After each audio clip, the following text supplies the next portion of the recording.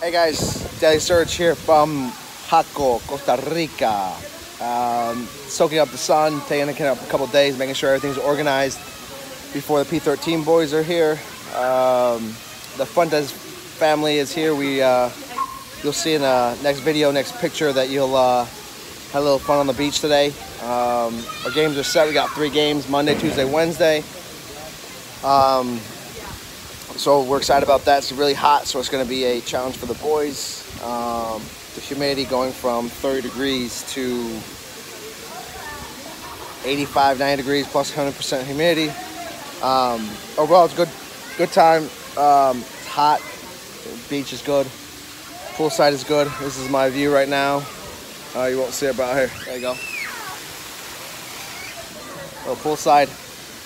Um, other than that, um, I will be posting more with the team. Um, everybody's due to arrive. The majority of the group is due to arrive on uh, on Sunday, Easter Sunday. So we'll be doing um, some more daily daily stories with the team about the the games and whatnot. So hope everybody's enjoying their their long weekend. Smile, guys.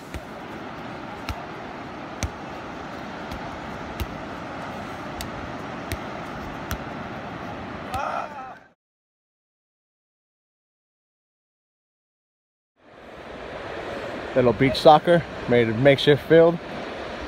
somebody's in this area. Fuentes, crew, beach. Vamos.